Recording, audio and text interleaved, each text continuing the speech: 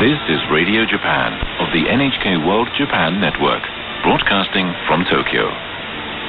We are now starting our broadcast in English. For details of our schedule, please visit our website at nhk.jp slash rj.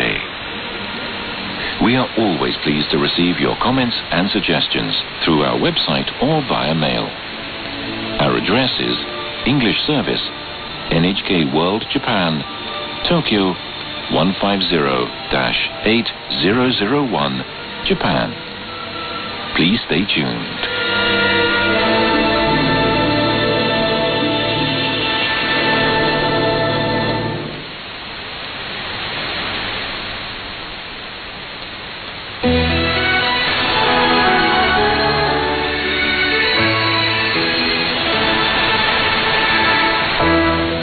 This is NHK World Japan.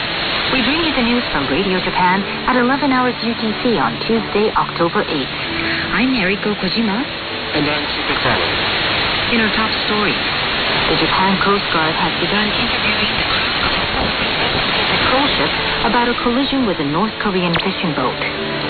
Japan and the United States have signed a bilateral trade deal.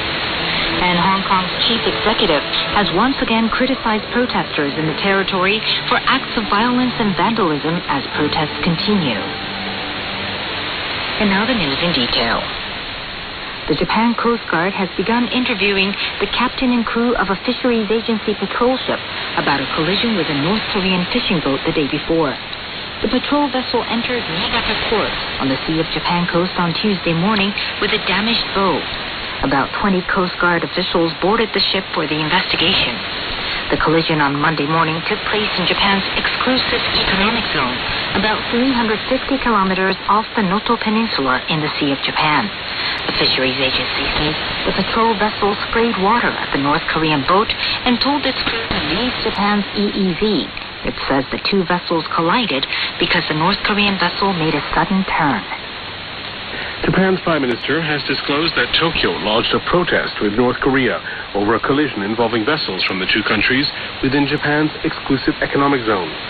Speaking in Parliament on Shinzo Abe noted that the North Korean fishing boats